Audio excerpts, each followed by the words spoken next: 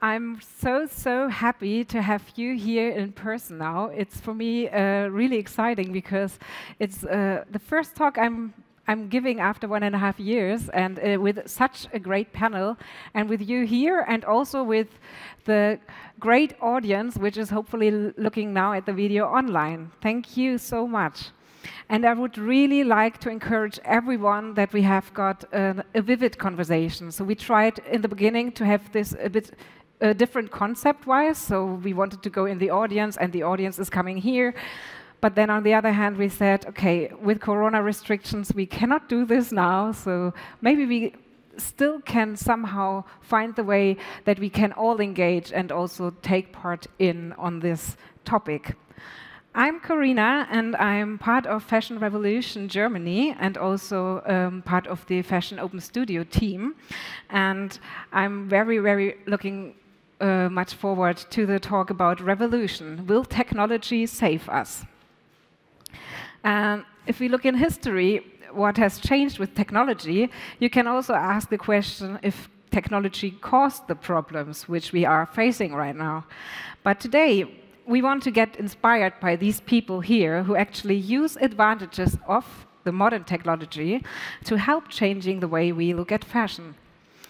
And before we start, I want to quickly or, um, introduce our speakers here. So on my left is Orsola de Castro, co-founder uh, from the Fashion Revolution campaign, the world's largest fashion activism movement, which is by, driven by digital social media actions linked with offline events. It's happening right now in over 90 countries. She's also the author of the book Loved Clothes Last, and I don't know of how many other things which she initiated appreciated.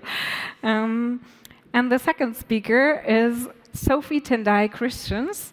She's the advisory board member of Fashion Revolution Zimbabwe, and that's how she came here, because we are linked to each other. And then we found out that she is incidentally in Berlin, and we asked her to be part of our panel.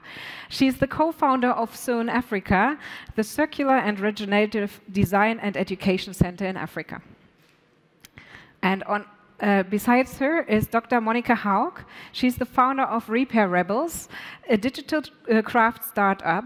And with her venture, she wants to make fashion repairs as easy as online shopping. And next to her, last but not least, I would like to introduce Dr. Karsten Pufahl. He is a postdoctoral researcher and project leader at the Institute of Optics and Atomics Physics at Technical University Berlin. So for each of our speakers, technology plays an important role in their daily work, and I'm really curious to know more about how this is working. Orsola, when you started the Fashion Revolution campaign, were you aware of the power you could unleash with the global fashion activism and um, the digitalization through the social media? in really, no. So I'm a crochet lady, you know, and I make clothes, and, and everything for me was about hands and technology. I, I, I probably even refrained from pressing buttons at the time. But social media, um, I was always curious. I diarized it. It's a way of communicating, and I am an arch communicator. And so when Fashion Revolution started, uh, we knew that obviously we had to get in with the times and stop being so granny and just get in with, with, with technology. It was weird. I mean, there was like a room full of adults and we were discussing hashtags. you know, it felt a little bit like Monty Python. But nevertheless, for us, social media was 100% what drove us as an organization. And I have to say that everything that we've done has been this mixture between very instinctive, very old, very felt, but married with what we can use right now. We couldn't run a you know 90 team uh, organization if we weren't connected with you know buttons and waves. Um, we couldn't get the information from our followers if that's not how we were communicating. The Fashion Transparency Index is all mixing ancient you know, instincts with very modern technology. So for us, it's been pivotal. And I'm sure we'll talk about it later, but I think that it has a huge role in bringing back things that potentially we may think we have forgotten. And technology will be a new way of remembering that we know them. Wow, yeah. That's also what I I so much appreciate about the Fashion Revolution campaign that it links people from all over the globe. It doesn't matter where you go. If you go in a country, you have a look online where is there the, the head of uh, Fashion Revolution, and then you're in the scene already. It's amazing how this power uh, has a, such a power and also gives a face to the workers no, behind the the products. It's through social media it's possible that we link each other to, yeah. together. And that's how, as I said already before, that's how Sophie joined here. And um, my question is to you now. Um, how are you connected to technology? Can technology transform societies to become more sustainable? What do you think? Um, I mean, I'm an optimist, hopefully. Um, we were talking about optimism and pessimism earlier. But I also think that boils down to what we perceive technology is and how we define it. And um, if you kind of deduce it to the simplest definition of the term of it being a way to use different knowledge systems to create a solve, create a solution to a problem, um, then yes, um, and I speak purely from my context, which is Zimbabwe. Um, I refrain from speaking about Africa as a monolith because it's not, but um, we 60% of the world is still offline right now. So digital technologies, specifically from my context, it, they are very useful to some people, but not to everybody. Um, and biotech and different types of technologies are also not accessible to the whole population. But then if you look at what's happening on the ground in communities, I mean, there's a huge circular movement of, okay, how do we make products circular? How do we make things regenerative? Um, how do we upcycle, how do we recycle, and how do we go beyond that? And um, there's a lot of communities that have been doing these knowledge, that have been doing these practices for years, um, for different reasons. One of them being poverty, one of them being that they've just learned it from their grandmother, who's learned it from their grandmother, who's learned it from their grandmother, and they know how to regenerate items. Um, so the concept of waste is minimal, and if we start looking at technologies or those knowledge systems as technologies, then for sure, I, I definitely think that it's a way forward. But we can't dismiss them as technologies purely because they're not coming from a mechanized process, or they're not coming from an industrialized process, or they're not coming from a formal education system. They're coming from communities that are sustaining themselves on a day to day basis. Um, so if we can kind of reconceptualize how we look at technology. Um, I think that's a way to make it more inclusive, and I think that's a very, it's a huge way forward. Um, and that's where my optimism comes from in that sense. So, I mean, for now I say yes, but purely from that perspective. And, and is, is the Fashion Revolution campaign, campaign helping you in that, the community is around? It is. It's connected us with a lot of designers that do have access to digital platforms um, specifically Instagram, which has been a whirlwind for a lot of businesses. Um, and these businesses are connected to the local communities. Um, so in that sense, we learn through different brands like um, I'm sure a lot of Zimbabweans in the audience will recognize, like House of Stone. She, uh, Danai is a great designer, and she works with traditional forms of creating things, and she works with local communities, and she connects those systems together. Um, and we know her through Fashion Revolution um, because she's a part of Fashion Revolution. So it's connected us to those systems too, um, even though a lot of the communities that have co connected us through Fashion Revolution aren't necessarily online. Um, so it's, it's a beautiful thing. yeah, great. And Monika, you have set up digi a digital platform, Repair Rebels, which helps to connect also the people. And uh, at Repair Rebels, you can order your clothing repairs online and make it as easy as online shopping experience. How do you want to achieve this? And in which, which uh, point are you right now? So maybe taking one step back, uh, the reason why we decided to find Repair Rebels was really because we realized that fashion industry doesn't use technology that much, right? I think we have to admit that there are more people on the planet who have cell phones but don't have access to sanitation. We are at the stage where we are exploiting or exploring space travel, but we're still producing clothes the way we were doing 100 years ago, right? 100%. Um, so I think technology has always been there, but fashion industry was just not using it um, in the way maybe it could have been doing it, right? And uh, being part of Fashion Revolution movement, uh, I'm representing Dusseldorf for over four years already. Um, so really being part of this family, this huge family, um, and I think also thanks to Orsola and uh, and Carry. Um, so I think it was not the technology which made the movement spread around. It was really the business model you took because you were really open about it, right? You put all the resources online and I remember the way we started in Dusseldorf. It was my friend who was a banker and me still a researcher. And we were like, okay, let's put Fashion Revolution event together. And we're like, okay, let's design a poster. How do we design a poster? and of course, it was fantastic because you had all the re resources there, digital resources there. We could just take it, download it, and use it. And that made a lot of things more easy. And I think this approach, the open source approach, was the number one reason why the movement spread around so fast. Of course, it was facilitated by technology. So one thing to Fashion Revolution, uh, really being inspired and taken by that movement, um, I realized that fashion industry is really lacking behind when it comes to innovation. And really looking at the repair industry, you could really see that the repair industry is one of the few industries which are completely not digital.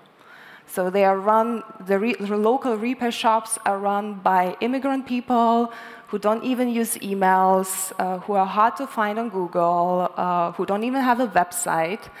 And like Orsola says, the most sustainable garment is the one that you already own. I truly believe and live this, um, this um, uh, ethos, right? But it's so difficult to repair clothing, right? Um, if you haven't learned that at school, if you don't have a grandma or your mom who could do it for you, right, uh, and you're living a busy modern life, it's way easier to buy something new.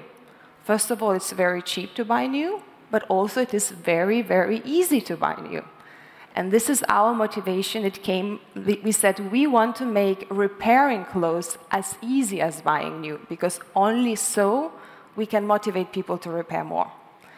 It's a big ambition uh, because, like I said, we are fighting two wars. One on the consumer side, you know, trying to tell them, okay, even if it's so easy and so cheap to buy new, maybe it's better to repair, which is hard to con co convince the consumers.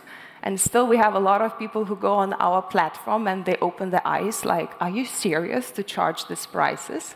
I was like, hello, we are in Germany, it takes two hours to repair your garment. And they, oh, okay. On the other side, another war, like I mentioned, is really the local repair shops uh, because you know they are not digital. You know, those people are scared of internet and they don't want to do anything. They don't want to have to do anything with internet. So you really need to teach them, and you know you really need to go them, talk to them, explain them, and and take them with you.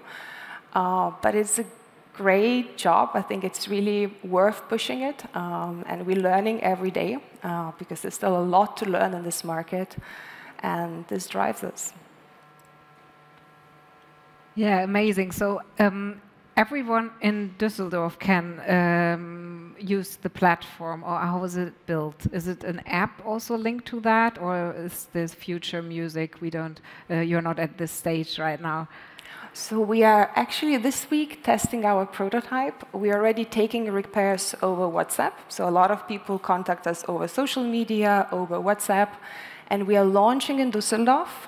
And we are planning to go to all the bigger German cities. Um, because, I mean, Amazing. It, it, mm -hmm. You need to scale a solution. Um, and I think our ambition is to build a case for Düsseldorf, an efficient repair city, um, and then, you know, replicate it in other locations. Yeah, yeah. Amazing. Yeah, so we have uh, the repair topic on the one hand, and on the other hand, we have all the material which is already existing on the planet. And now I want to uh, zoom a bit in and go uh, more into the direction of R&D and textiles. Karsten, in your current research, you are focusing on sorting methods for closed-loop textile recycling, and for example, by artificial intelligence. What change can we expect in the near future to happen in technology and innovation? Mm, big question, I would say. never want, as a researcher, you never want to overpromise. So, mm. but um, I think we're facing, like at least in the EU, it's in, in four years. There's going to be a big wave of textiles coming in, mm. uh, and on the waste side because there's a new EU directive. So, and hopefully um, these collecting textiles, which has been a very German discipline, so it's not very common in uh, in the EU. So like we have like 65% collection rate in Germany and like 20 or 30% in the EU. So that will hopefully change, but there will also has the information uh, the the industry has to transform because uh, there's like right now it's about picking the best parts of that huge waste stream and selling it on, as second hand and exporting or shredding the rest and putting it into car seats and into wiping cloth. But once you have more of these, this whole business model has to change because the text, the second-hand market cannot uptake all that that uh, all that many garments. So we, we have two sub-projects we're facing on. So one faces on that um, second-hand part. That means uh, using artificial intelligence. I know that's a big topic, it's a big name. So it's computer vision. We're trying to implement methods that um, yeah, analyze or analyze textiles or garments and um, have finding a more objective uh, way to to sort them into fine, very fine grain categories, so that we can finally or hopefully um, advertise them to very specific customer groups. So now it's so it's not only about brands, but also about like that, I don't know, not only wedding dresses, but like floral dresses or certain types of t-shirts. So many more categories that you could sort by hand. So that's one project, and the other project is uh, that takes care of the textile waste, so something that cannot be reused again. And there we're using spectroscopic methods to to find out the material compositions of, uh, of garments to find the suitable recycling channels because unfortunately the, all these polymers that are used you cannot mix them they don't mix so you have to put them into different fractions before you can finally make use fiber to fiber recycling which has very high restrictions on what on the feedstock to make new garn new sorry new yarn out of it which you can then use for yeah new garments mm -hmm.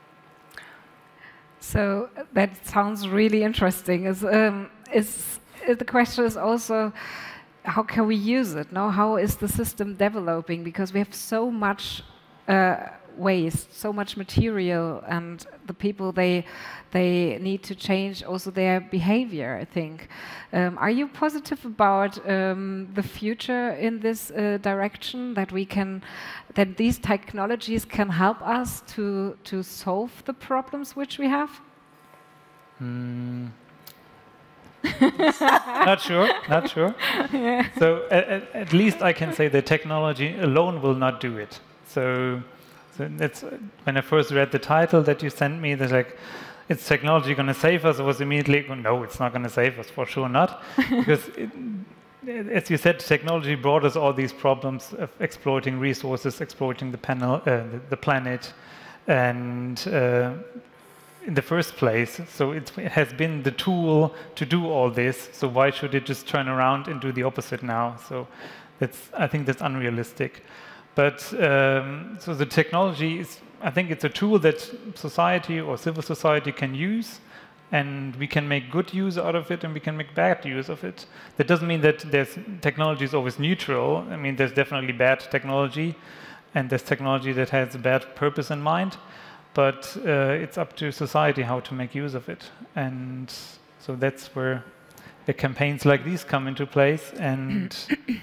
Uh, well, I think the overall consumption has to go down. It's, that's, it's not only that recycle. Now, once we have this the circularity system, and then we can consume as much as we want, that's not going to happen. Never going to happen. Absolutely, I, I really couldn't agree more. So there is this kind of panacea that you know everything will be recycled at some point, but anything that is born of excess will have a massive you know, footprint.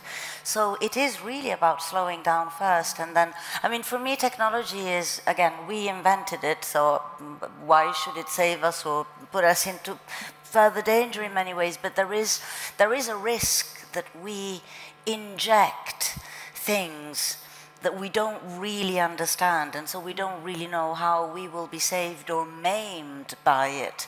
So for me, technology, what's interesting right now is that that connect, connects us to who we are. You know, it, uh, when I speak about the Fashion Transparency Index, this idea of having traceability 50 years ago, 60 years ago, these were connections we made without the use of technology. I mean, we knew that, you know, if you bought a pair of Converse, they had to be made in the USA or they weren't Converse.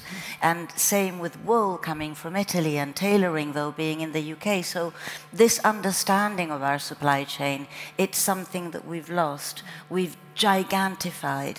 And technology, in many ways, is going to help us to map it but it's nevertheless our curiosity that needs to create that map and the reason for that map to be in existence.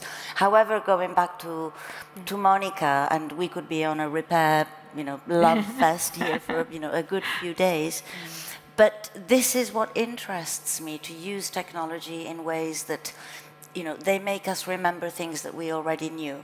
And in that sense, I feel that we can really uh, make big changes with, with, with small art, but always with the understanding that it's, it's something that we need to tailor to us and tailor to a good use rather than a negative use because it's so plain that we've, we've done them both. And I've been, uh, you know, in, in this particularly this repair conversation, I've been begging every single fast fashion store to put cheap and affordable repair stations in those stores. So anyone that's watched a, a, talk of mine will know I'm doing it again.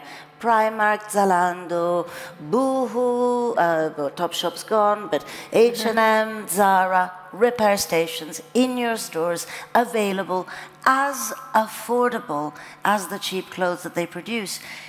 But that's just the end. At the very beginning, it's slowing down and paying your workers and respecting the supply chain. Yeah, yeah. But that's really about changing the business model. Of right? course. It's really, it's not about technology, it's really about the business model. The same thing with transparency. You know, it, we need fashion brands to want to be transparent, right? Yeah. Fashion industry is very secretive industry. I met so many even sustainable fashion brands here at, at the fairs a few years ago who would not like to tell me where are they producing because they are scared or other reasons, right? So really the industry needs to want it. And then we can use technology, uh, which can be a powerful tool. Um, the same with, re with repairs. I mean, the industry doesn't want that. I mean, we've been approaching social media influencers asking to support the campaign, and we've been told very honestly, we are living from selling, not from repairing. You know, so that's really, you know, we are against the classical business model. Absolutely. And in fact, I recently put a post on Instagram, probably the one that was the most controversial of anything I've ever done. But so for me, when people say I support, you know, garment workers, but their product is shit and fast fashion, you might as well just throw it in the bin. This has been one of the most dangerous narratives that we've been, you know, perpetrating for the last 25 years, and disrespectful to the people who make our clothes. The fashion, uh, fast fashion brands have been swimming in joy each time we say don't repair, and at the end of the day, everything ought to be repairable. And, you know, it again, it goes back to knowledge. And technology can help us with that knowledge. I mean, I tell everybody, whenever you buy something, turn it around, pull any string that's, uh, you know, falling apart, and, and see how products are being made. And I do believe that, you know, that the really showing and leading by example and making repair um, available everywhere is, is really, um, you know, very important, as is learning from those places in the world that haven't lost it. Because in India, for instance, in Africa, in, um, again, I'm sorry, I'm speaking generalizing here, in Southeast Asia, the, the, the mending is, is still, you know, really autochthonous to the communities. And it's us that have lost it and need to technologize it back into our lives. Mm. Yeah, and also going back to the beginning, because like you said, rep repairing is an important part of the process, but looking at the beginning of that process and being like, I mean, you see a lot of brands right now where recycling and upcycling and all the bicycle formed of restoration is has become their brand. So it's, you know, we upcycle, we do this, which is great, but it's one part of the problem, and we have to look at, okay, well, how do we move towards an ecosystem in a way where we don't need to recycle, we don't need to upcycle, or that becomes inherent, where waste isn't the predominant issue, but it's just a part of our ecosystem. We hear over and over waste is a design flaw. Mm. But we can keep saying this and we can keep saying this, but if we don't start using technology or we don't start adapting our design process in a way where we constantly have to figure out new ways to recycle as opposed to knowing what that recycling process is going to be when we design the product in the first place, then it's going to be a very long road. So that's just something that we need to inherently start focusing on too is how do we start from the beginning? How do we design products? How do we innovate products where planned obsolescence isn't inevitable? Like it's mm. not inevitable. It's not going to automatically become a waste product in 20 years or 30 years, even if it is a or durable five item. minutes. Or five minutes, exactly. So that's also an important part of the solution and the things that we need to start thinking about. Or by the time you know you sell something, I think it's really extended producer responsibility. Mm -hmm. Because again, the industry was built so sell as much as possible, produce as cheap as possible. Once you sold it, then you tell the consumer that you should feel bad two months later that you don't have the new thing, and then again sell as much as possible and make the consumer feel bad about it. So once the brands will be responsible for what happens with the products, once they will be maybe even taxed for producing waste which don't uh, decay for years, um, then we're going to have a change. So really the, the business logic needs to change, and it's a very harsh change. Um, I think for this reason, we see when we talk about innovation in the fashion industry that it doesn't come from the fashion brands, it comes from outsiders, you know? It's all from emerging brands. Emerging brands, but you know, not um, not not the typical fashion players, because you know it, it's hard. I mean, um, we really need to change the game. Yeah, think I'd like to step in with the um, at the point of repairs, and I think like it, it, if you compare like all other technology that you have, you buy it and you have a warranty, and if that if it has a design flaw, that company pays for it. So maybe you need that repair store because that then if a product has been made in a way that it falls apart after half a half a year, then um, that company has that feedback that this product has been bad and because now they can just push it into the market and it's gone. And they don't have to care how long it's going to last and how it can be recycled all these things are just out of the scope. It, there's no incentive to do it. So i think and there is actually less transparency on that side of the supply chain than there is, I mean, you know, at least some steps are being done with the Fashion Transparency Index. When it comes to products and the way that they end up, technologically, there was a program in Italy that actually put a microchip in secondhand clothing to see, to try and analyze actually what happens to secondhand clothing. And, you know, the reality was that half went the usual way, so the secondhand store and then being sold, but a great half went through the mafia and were littered in south of Italy, you know, without any form of regulation whatsoever. And, you know, we, we, we really struggle to follow the case of the clothes once we throw them. That's why I think you know the, the, the technology particularly in this case, we need to think about longevity, what we can actually do as people before we rely on, on, the, on the kind of technological. Yeah, that's yeah. also about raising awareness, no? The the what the fashion revolution campaign and through also the digital media that is possible right now that we can share this knowledge and everyone everywhere in the world can read it. Mm. I would. I had I had one uh, question to Karsten. Uh, how much of the sorting is being done by hand and by the machines? All of it is done by hand. Okay. So so far.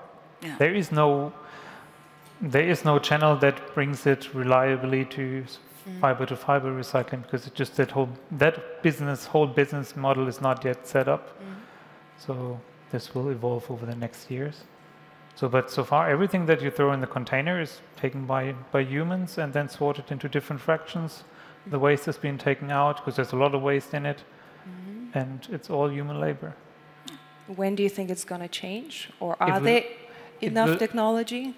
It, I always say that we were planning on a semi-automatic system, so it will always involve humans because that is like a textile is from from the from the morphology is it's not no machine can so far unfold it, and it's just very difficult. And humans are quite good in unfolding and looking at textiles, and they can say, okay, this this smells a bit bad. This is wet. This is stained. So this is something the machine is, is very difficult for it to do. Mm-hmm. So there will always be humans involved, I think. Mm-hmm. Again, Amazing. a massive labor which we as consumers are not aware of. Yeah, and also material-wise, the materials which are existing now, they don't have the same quality. The, so the question is also what happens after the sorting out.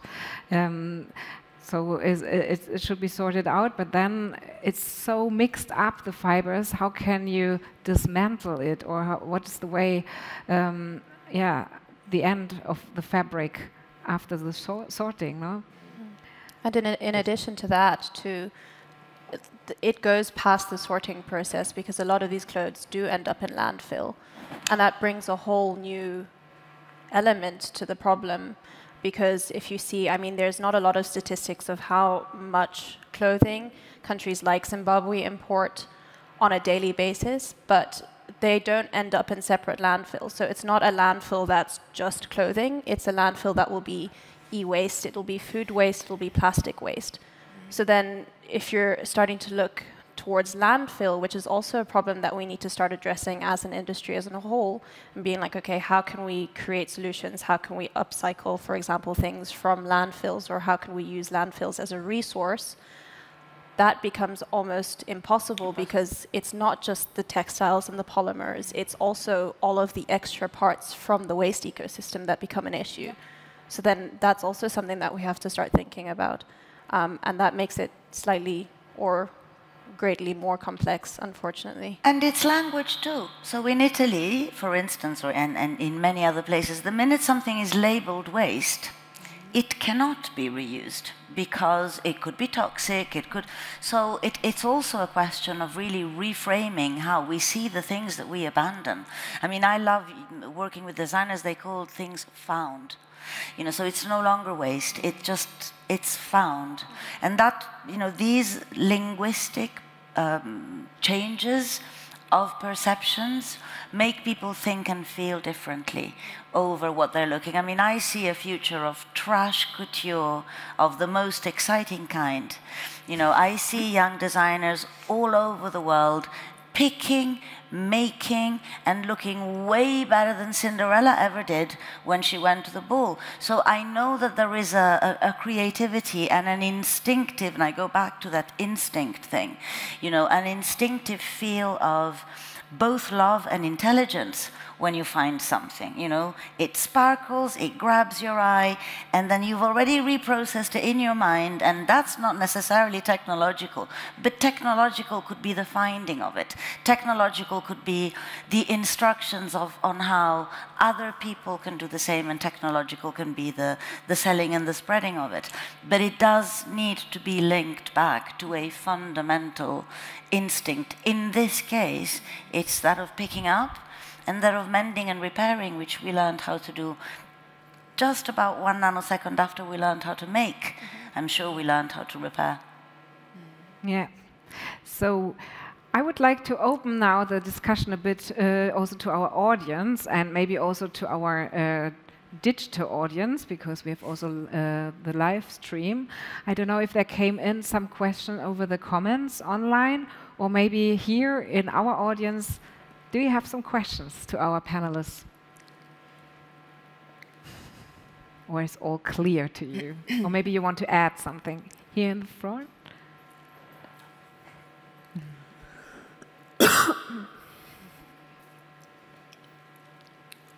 Thank you so much for being here. It's an honor. Um, do you think the waste of clothing in general will be quite as much as the waste of masks? And what do you think this global pandemic is teaching us as a fashion industry?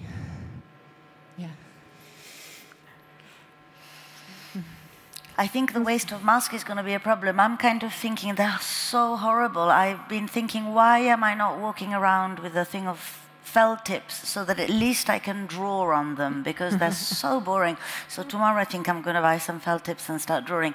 That'll make me want to keep them more. But um, it's difficult to generalize with the pandemic because, I mean, for me, it's been like another Rana Plaza, you know, where humanity's shame is visible. And in this case, it's not humanity's in particular, I'm referring to fashion brands. But it has been a profoundly unequal time. And, and that, for me, has been where it's been more painful. So hopefully, uh, when it comes to clothing, it's definitely shown us that we've got way too much. Um, but when it comes to each other, I hope that it's shown us that we really need to think of each other as equals. You know, there's never been a time in which it's been, even in the same block of flats, different circumstances have hit different people. And, and so that this is, I guess, the first lesson. Really, when it comes to clothing, one interesting statistic is that when the UK reopened stores, charity shops did their best business ever. So something around this awareness did pass, something around the we have too much or we need to keep things longer and, and sharing and swapping, something did pass, which I took as a positive. Mm -hmm. I kind of, just going off of your question too, sorry. Yep anyway, um, I feel like our response to masks has also very been similar to our response to clothing in terms of we've had a problem, there's a solution, which was, you know, there's virus spreading and we need to cover our faces. But we've never really thought of from the get-go, how are we going to deal with the masks afterwards? Exactly. So we're inherently short-term thinking. Um, and that's what we do with a lot of things. We see it in politics, we see it in general policy, we see it everywhere. We think, okay, well, there's trends that we need to ch chase, and there's these people, there's a demand over here, and there's a demand over here, and it's very short term, but it's not, okay, what do we do when the demand changes and the trends change, etc.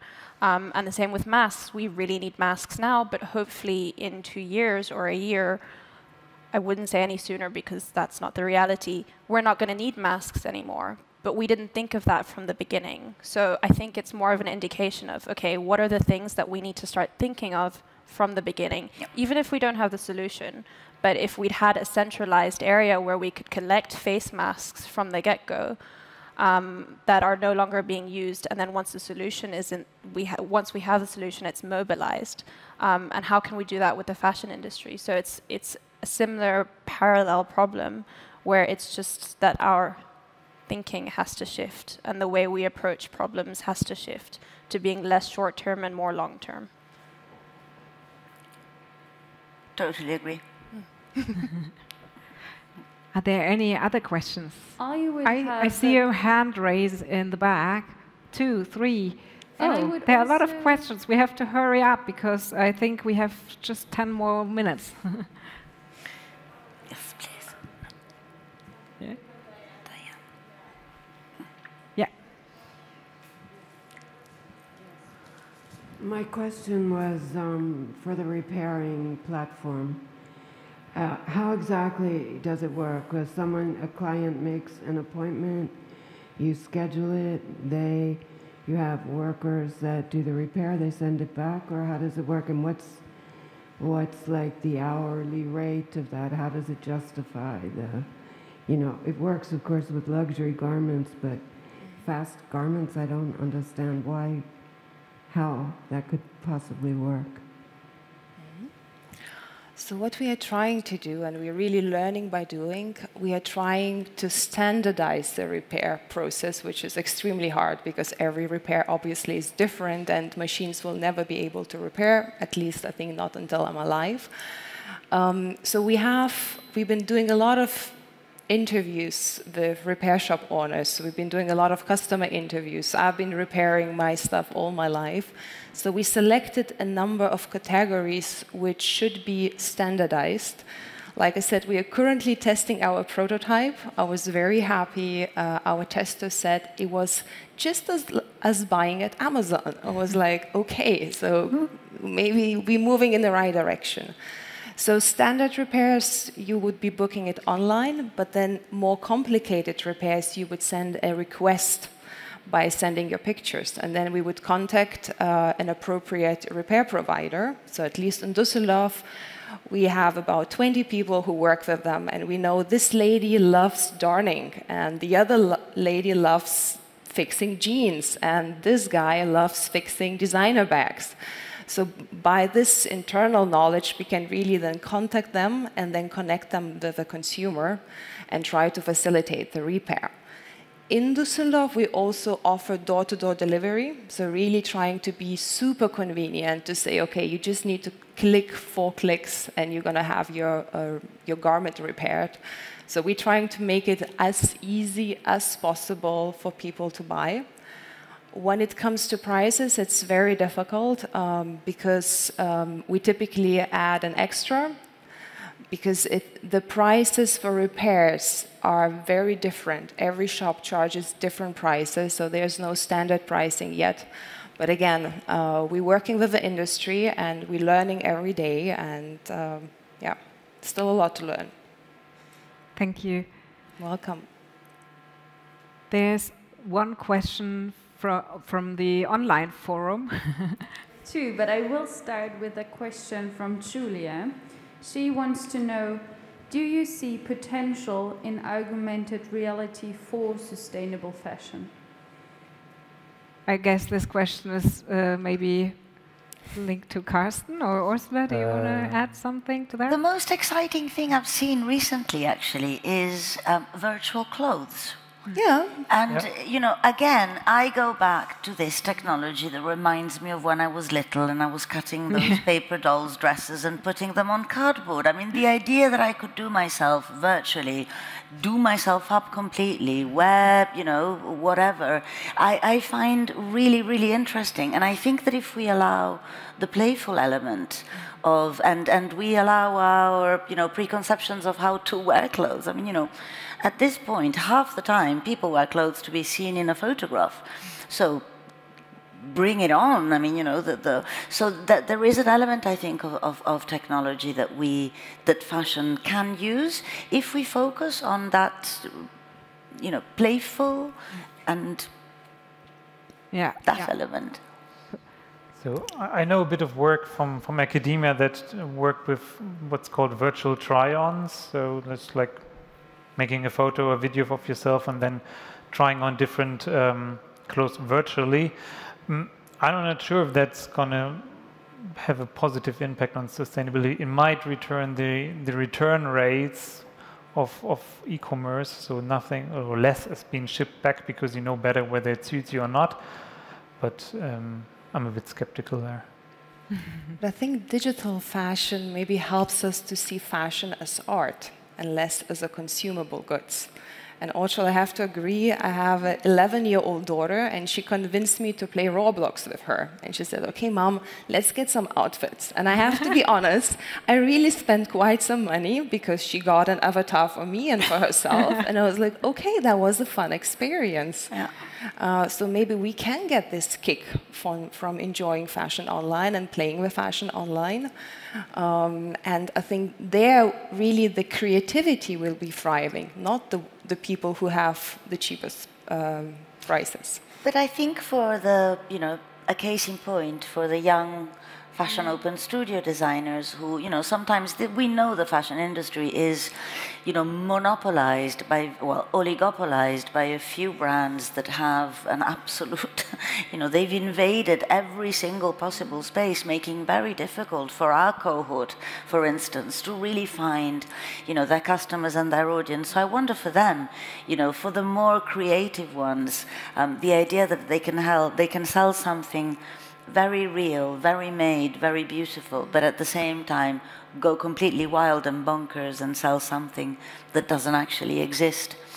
But it is nevertheless a fruit of their design signature and their, you know, creativity. In that sense, I think it's it's interesting. But I do agree with you. I've seen a lot of stories around, you know, diminishing returns, trying on, you know, the, the, the, the sampling, and I, I, I don't necessarily feel that we're there um, in, in a consistent way yet.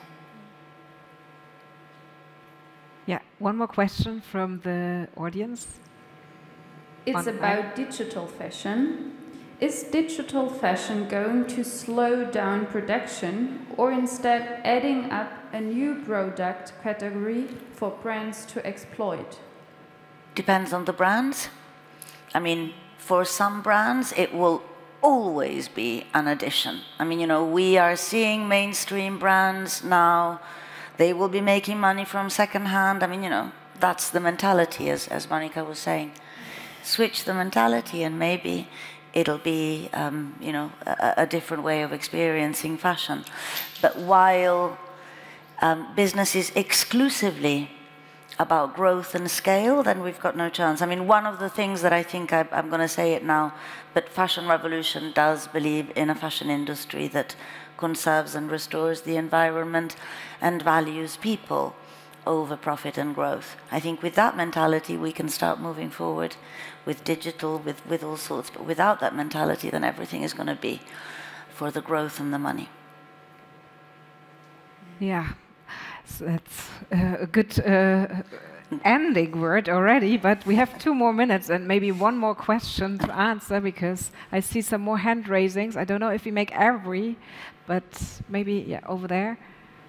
Or And now is and 21 century and is it is the future the future and and and and gives it more vintage clothing and and you know you know tech clothing it is and vintage clothing and some or many vintage clothing. Um, I didn't really get the question, but I think it was if it is uh, if it's more vintage clothing in regards of new clothing. No, no, and and dandy like dandy like and dandy like. Okay. So I think um, Perhaps if vintage clothing is the future, is kind of what I understood. That we're moving away from new clothing and we're moving more towards the notion of vintage. Is that kind of. Or, this- negative you- connotation with vintage. Um, Maybe I can speak for the recycling industry that vintage is quite interesting for them to to pick out of these this waste stream because it can be sold like like within let's say Germany at quite high prices. So there's quite an uh, quite an interest in keeping these old, very specific garments. Karsten, maybe my question to you, um, because now the resale platforms are booming and more and more people are reselling clothing instead of putting them in the bin. How do you think it will affect the recycling industry? Difficult question. I think we did a bit of data science on, on second-hand platforms, and I was shocked how many new clothes there are. So different categories. They have usually and it was I think like 30% of the clothes has never been used, mm-hmm. and half of that has still the hang tag. So that is, I was shocked when I saw this. I thought okay, it would be used clothes, but it's actually new clothes that they offer. So We just need to keep.